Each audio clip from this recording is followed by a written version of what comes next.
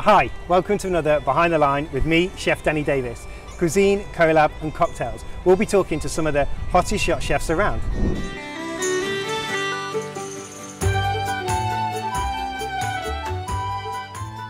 Hi guys, Chef Danny Davies here, another episode of Behind the Line with Triton Magazine. Today we're on a Mochi Up Cupcake with Stuart, the whiskey blogger.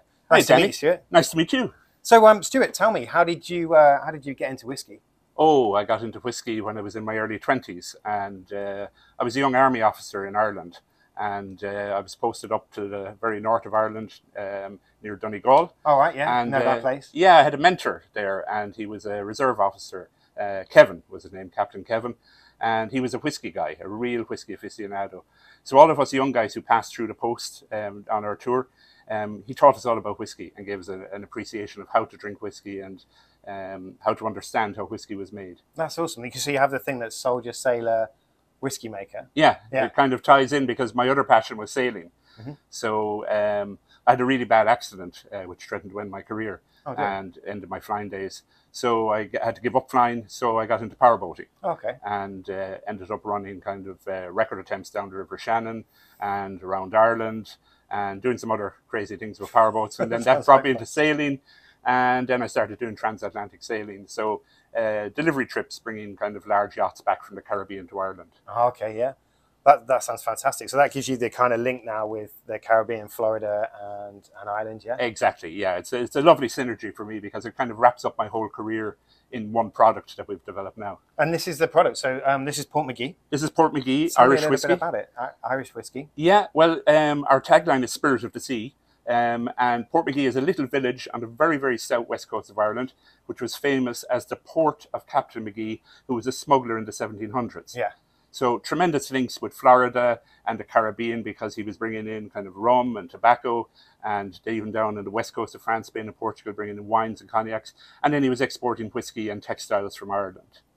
Fantastic. That's a great story. Yeah, and it's kind of uh, even my name McNamara is Mac Connemara, son of the Hound of the Sea in Irish. So all my ancestors were pirates, and my two destiny. yeah, and my two colleagues Murphy, their name means the sim- something similar. Muraku means uh, a sea hound or a sea a sea warrior. Sorry. And uh, so, really, when we went to design the whiskies for Portmagee, we wanted to bring in elements of the sea into it, the maritime history, heritage, culture of Portmagee and that part of Kerry in the southwest of Ireland. And that's how you ended up with a Spirit of the Sea. Spirit of the Sea. Uh, it's Portmagee whiskey, Spirit of the Sea. That's fantastic. I so want to taste this whiskey. Well, let's have a taste. Awesome. Okay.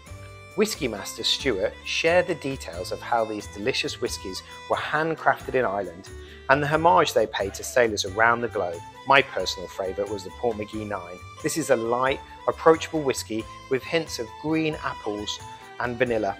It has a great finish from the Barbados rum barrels that are used in the aging process. I would pair this dish with pan fried rump of lamb, colcannon mashed potatoes, Chantenay carrots, tender stem broccoli, red currant, and rosemary jus. So I just wanted to talk to everybody and tell you about this event that Stuart and I are going to put on. We're going to do a captain's table VIP event, and we're going to match some of the whiskies that Stuart has with some of the food that I cook.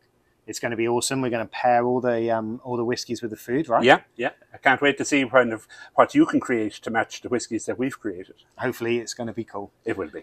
For more details, um, find us on social media and look out for um, upcoming events that are going to happen soon.